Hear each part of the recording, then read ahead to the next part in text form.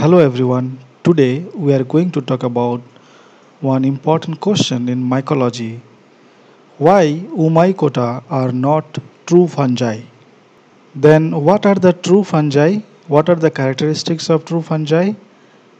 And why Oomycota do not qualify to be called as true fungi?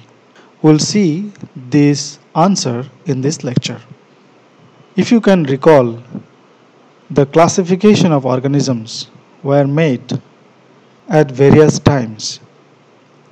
Two kingdom classification, three kingdom classification, then came five kingdom classification. Whittaker 1969 gave this five kingdom classification where fungi were treated as a different kingdom. Earlier, fungi were grouped under plantae. They were called as achlorophyllous plants. Now here in five kingdom classification, we see that fungi have been treated differently because they are achlorophyllous, they are multicellular, some are single celled of course like yeast. Then they have absorptive type of nutrition, okay they produce spore they reproduce sexually and asexually. So fungi were separated from all other organisms and kept in a different kingdom. Now when you know that the fungi are there they are in a different kingdom still we classified all the members in the fungal kingdom into two broad categories lower fungi and higher fungi Lower fungi are those like Oomycota, slime molds, chytrids, they are called as lower fungi. They are characterized by production of zoospores or motile spores. They are characterized by dependence on water. So they are called as lower fungi or primitive fungi. They produce sporangium, they do not produce conidia which are airborne. So these are some of the characteristics which are there in lower fungi.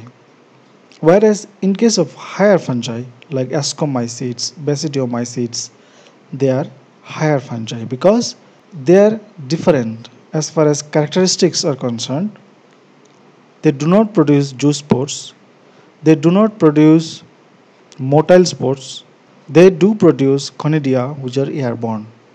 So these are some characteristics which are there in higher fungi. Now we have got seven kingdoms.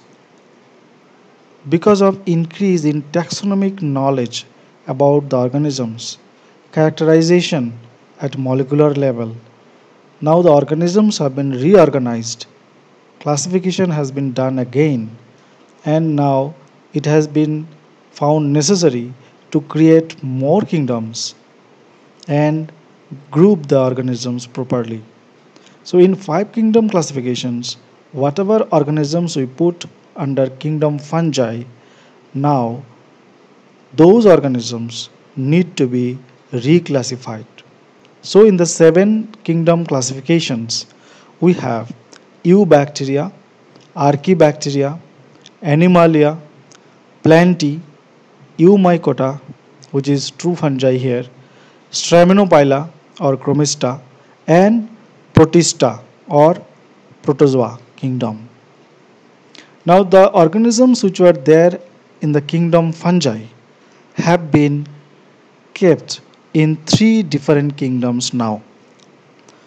So the organisms of kingdom fungi in the five kingdom classification are now kept in Eumycota, which are true fungi, Stramenopila or Chromista, and the kingdom Protista or Protoctista or Protozoa.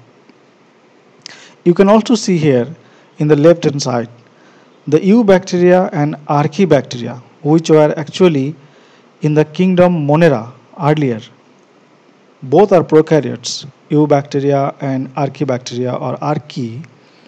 Both are prokaryotes but now we know that how they differ from each other so it has been necessary to create different kingdoms. One kingdom for eubacteria or true bacteria and one kingdom for archaea. Alright. So now we uh, move to the fungi and here under kingdom fungi we see organisms. Okay. So now we have three different uh, kingdoms where all the members of fungal kingdom have been reclassified. Now in the seven kingdom classification, the true fungi are those which belong to kingdom fungi, where we have some groups like Chytridiomycota, Zygomycota, Ascomycota, Basidiomycota. So these are the groups where we see true fungal characteristics. And these all are monophyletic. So when we do genetic studies, molecular level studies, we find that the origin of all these Chytridiomycota, Zygomycota, Ascomycota and Basidiomycota, they have one source from where they originated. So that, that's why they are all monophyletic. Now the other organisms like Oomycota, Hyphochytriomycota and Labyrinthulomycota which were earlier called as fungi are now kept in the kingdom Stramenopila or Chromista. So Oomycota is also here in the kingdom Stramenopila. Now this Oomycota, Hyphochytriomycota and Labyrinthulomycota they are monophyletic. They have one source from where they originated. So they all share common characteristics. Now slime molds Plasmodiophoromycota, Dictyosteliomycota, Acrasiomycota, Myxomycota, those were also called as fungi earlier. But now we see that they are kept in a kingdom protista with other organisms. Protista kingdom also has other organisms. But in that we also see some members which were earlier called as fungi. Plasmodiophoromycota, for example, we have one important plant pathogen here, Plasmodiophora brassicae, which causes clubroot disease of crucifers, cabbage, cauliflower. Now this was treated as a fungus, but it is not a fungus anymore. It is a protist because of the characteristics it shares with other members of Protista kingdom. Now again, one very important thing is that all these organisms that we see under kingdom protista they are polyphyletic.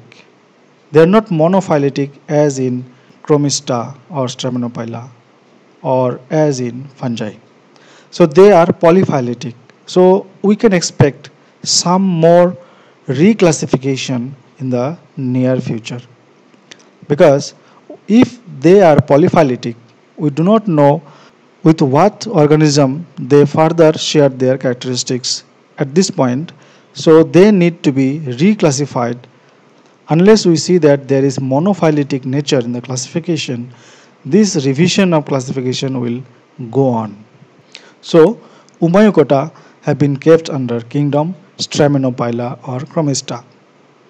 We know very well the organisms which are there in the group Oomycota Phytophthora infestans is the organism, oomycete organism, which was called as fungi earlier. Now this is the organism which actually started the subject plant pathology.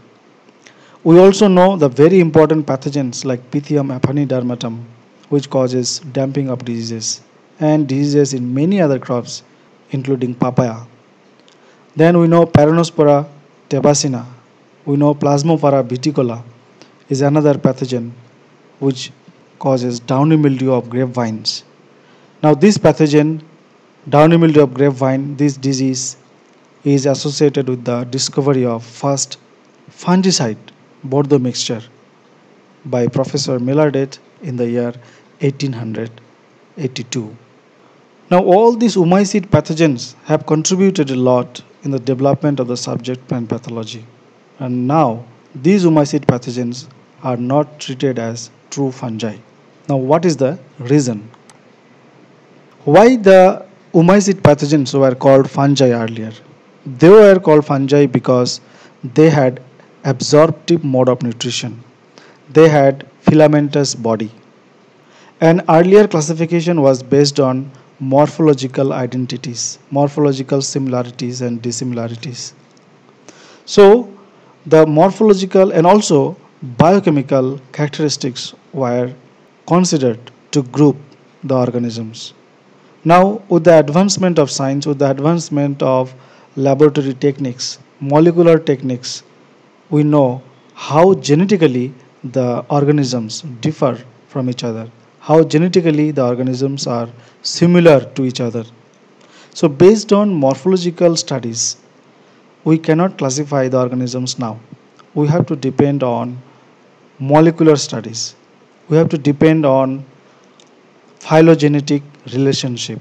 We have to depend on ancestral relationships. So these are the things which are main points for present day classification. Now we see that though Oomycota share some characteristics with true fungi, but they are not true fungi because at molecular level, at biochemical level, there are many differences. Now what are those differences? The Oomycete organisms have different cell wall composition.